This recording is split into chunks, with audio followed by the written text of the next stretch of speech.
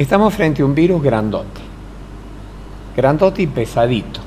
Es un virus de 200 nanómetros, es medio grande, tiene una serie de proteínas y proteínas con azúcar que lo hacen pesado.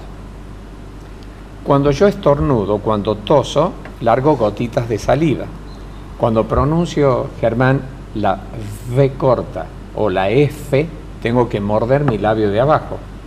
Y si vos me estuvieras viendo con el sol a cada trasluz y yo digo fuerza, volveré, verías un spray de gotitas de saliva que salen. Esas microgotas pueden volar hasta 12 metros. Si yo tuviese el virus del sarampión en la garganta, vuela hasta 10 metros porque es chiquito y liviano. Yo infectaría a las personas que están a 10 metros mía. Este virus al metro 20, metro 50 máximo se cayó. Si yo estuviese a 2 metros de personas infectadas, no usaría barbijo. El virus no tiene cómo llegarme por vía aérea porque es pesado y se cae.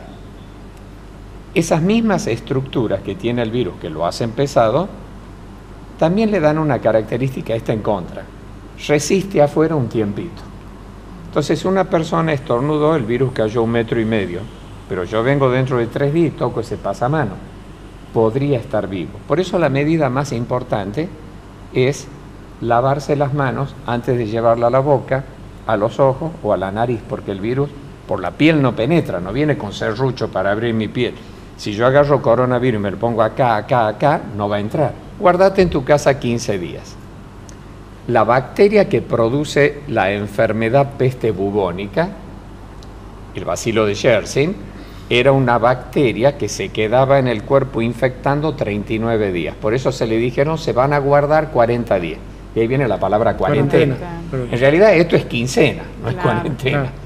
Ahora, ¿qué probabilidad tengo que, si tengo el virus, que me enferme? Porque una cosa es estar infectado, tenerlo adentro, otra cosa es estar afectado, que me produzca síntomas, malestar. 20%. O sea, teniendo el virus, tengo 80% de chance de cursarlo sin ninguna molestia. ¿Qué chances tengo que me mate? El promedio mundial es 3%. O sea, tengo 97% de chance, teniéndolo el virus, de sobrevivir, quedarme sin el virus y con anticuerpos. Por lo tanto, es un virus que hasta el momento, de los 7.530 millones de habitantes que hay en el mundo, ha infectado hasta ayer 134.000. O sea que hay 17 personas con virus en el mundo cada millón. Los virus gripe, que vienen en invierno, infectan el 1% de la población. El virus de la gripe española mató, mató, no infectó, mató a uno de cada 20 habitantes de España de esa época. La peste bubónica mató a uno de cada tres, el 31% de los habitantes de Europa en un año entre marzo de 1346 y julio de 1347. O sea, de, una población de 50 millones mataron casi 17, 18 millones en un año. Tenemos que cuidarnos, adoptar las medidas de prevención. Esta es la más importante. Y la más importante, me lavo las manos porque el virus aguanta afuera. Con jabón. Jabón, jabón. No tiene alcohol en gel, no se preocupe, no regale dinero en jabón. aumentó en, una barbaridad en dos días. Aumentando al divino cohete tiene un desinfectante muchísimo más poderoso, más eficaz, magnífico, baratísimo que jabón y lavarse bien las manos. Barbijo sí, si yo tengo el virus. ¿Por qué me voy a poner barbijo? Para no infectarte, por una cuestión de responsabilidad. Barbijo sí, si voy a estar en un lugar muy aglomerado, donde tengo personas a menos de un metro y medio, un avión, una reunión, en un lugar donde anda el virus circulando, obvio, si no, no me voy a cuidar. Si no, no es la medida más importante. Lo salía a pagar fortunas por barbijo. Está bien, tenerlo al barbijo, cuídate. Y lo más importante además es, si vengo de un lugar donde hay circulación del virus, decir la verdad. Me voy a guardar estos 15 días, esta quincena, voy a estar en mi casa, para no dañar a otros, no tengo por qué exponer a riesgo. A mí me hace reír las cosas que llegan por WhatsApp. Primero pseudo médico, hablando de esto, esto dijo el doctor tal en Cambridge, entramos a Cambridge, no existe el doctor. Esto dijo de algún pícaro que graba y dice, lo dijo el, El espero que nadie va a decir Miroli dijo y me pongan diciendo algún macanón por ahí. Este, no. Entonces agarra y dice, hay que exprimir un limón, tomarlo calentito a la mañana por la vitamina C. La vitamina C se disuelve en agua, es hidrosoluble.